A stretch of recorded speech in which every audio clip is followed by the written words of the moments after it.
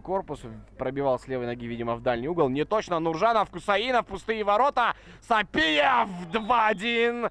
Хантенгри выходит вперед. Сапиев, Данияр с передачи Кусаинова до Урена. Ну вот эта троица в деле. Кусаинов, Нуржанов, Сапиев.